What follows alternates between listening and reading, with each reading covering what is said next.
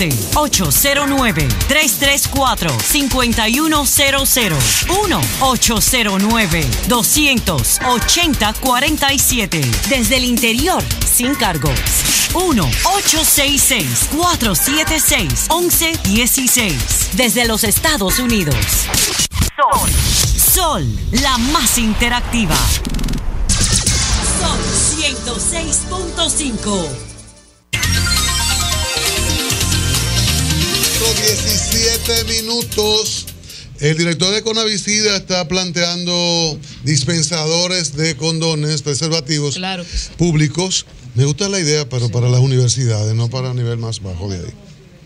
Porque los muchachos de la universidad como que le van a hacer No, su pero, cochita. eh, eh, pero en la universidad. Y hay que protegerlo. En la El- universidad lo compran al frente. Como dice un muchacho de que el del Babilonia, hay que proteger a la gente del papiloma. Entonces, los universitarios como quieran lo van a no hacer. No, las escuelas no. Pero en las universidades sí. Bueno, que- pero en los yo creo que lice- en, en la escuela no, pero en los liceos. Pero adultos ya, El digo los muchachos. Buenas tardes. eh, la vida usted. sexual activa y promedia a los 12 Di- años. Diga usted, Maquini le oye.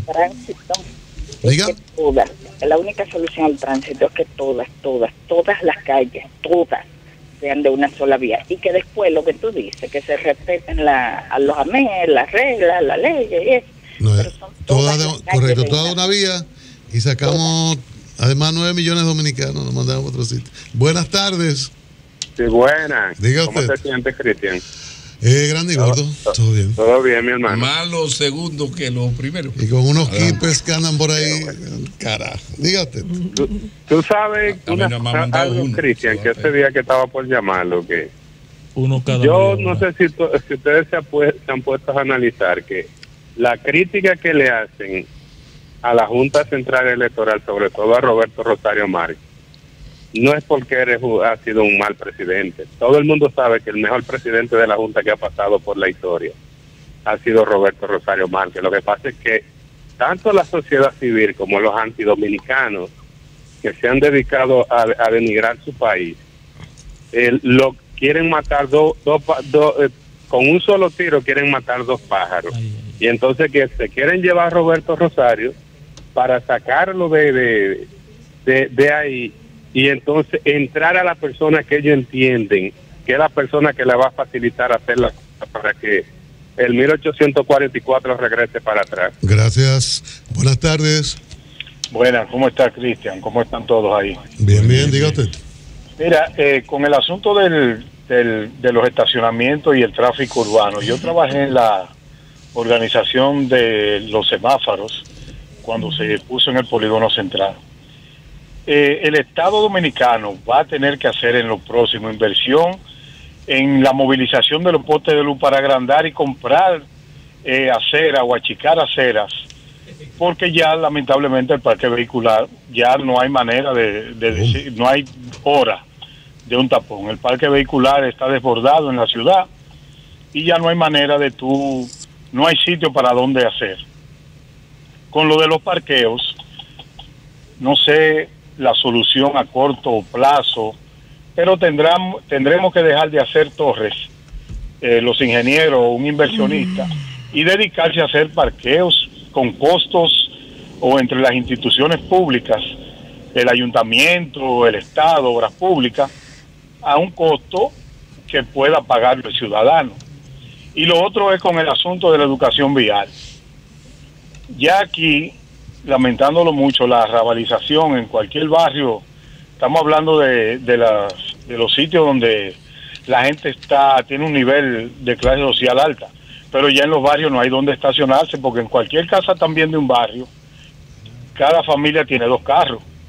Y tú encuentras de noche las calles ya que son estacionamientos públicos. Ya no hay por dónde andar de noche en los barrios. Bueno. Eh, ahí. Muchas gracias. Gra- gra- gracias a usted.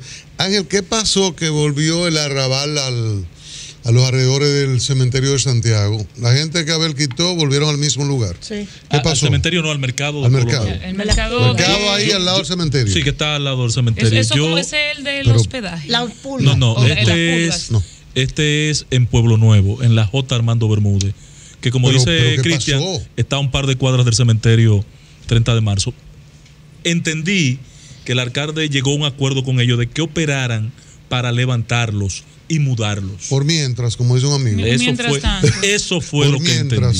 Buenas tardes. Espero que dígate. tampo- también no haya claudicado. Dígate, adelante. ¿Cómo están ustedes? Bien, bien. Doña. Consuelo, ¿cómo está? Hola, ¿cómo estás? Doña Consuelo, ¿usted Di- recuerda que cuando Morel Cerda era presidente de la Junta, Ujú. los conteos no se pueden suspender? Y él lo suspendió, de que, que iba para un velorio. ¿Eh? Es lo, que yo, hombre. es- es lo que yo quiero, un Morel Cerda ahí. Ay, ay, ay, ay. eso Buenas no tardes. Pero eso no. No, Morel hizo algo no más. Morel hizo algo más grave. Yo Pero lo voy a no contar. recuerdo el tema Buenas de, de tardes. conteo. Sí, buenas tardes. Diga usted. Eh, Además, mira, la Junta no cuenta, la Junta Central no es a la que cuenta. Ujú. Referente a lo que pasó en Santiago, el mercado de Cristo Rey, que fue totalmente eh, inaugurado por el síndico saliente, pues ya los vendedores están retomando la calle otra vez con el, el mercado abierto nuevecito. Ya. Es que es así. Eh, David, buenas tardes. Es así. Aló, buen día, buenas Y si tardes. lo dejan, Doña Consuelo, ¿cómo está usted? la París, gracias, hola, buenas tardes. La París con, con Duarte aquí. Eso fue un acuerdo de, de- de- del alcalde Pues, Lina, Salcedo con, con obra pública y, y Roberto comenzó a construir unas caseticas y una pendeja. Doña Le dieron cuarto a la gente, a los empresarios, Oye, ¿cómo yo le empresarios, eso. Le dieron dinero para que se mudaron y volvieron y se instalaron y ahora se lo alquilaron a haitianos. Buenas tardes, dígate. Buenas tardes, ¿cómo Es así, Bien, esto es una dígate. vaina del yo carajo. una preguntita. Diga, Sí. adelante. Fíjese, yo tengo una, una hija mía que me- tiene un hijo con un señor de aquí de la zona. Ujú. ¿Qué zona? ¿qué pasa? Que hoy fueron a la cita. Oiga, para que usted póngame asunto. Ellos fueron a la cita hoy, entonces... ¿A, a qué zo- señor, díganos en- a qué zona usted se refiere y de, y, de, y de qué era la, La cita. zona A, la de, zona de niño de hacer la, la NN y entonces él, ADN para el niño para saber la paternidad. Exacto, entonces Claro. él dice Sí. que, le dijo al juez que si él no iba, ¿qué pasaba? ¿Usted me entiende? Entonces le está ofreciendo a, a la mamá de la niña. A dos tu mil hija. pesos. Exactamente. Le está ofreciendo. Dos mil pesos. Bueno, pero ella Pero mi hijo.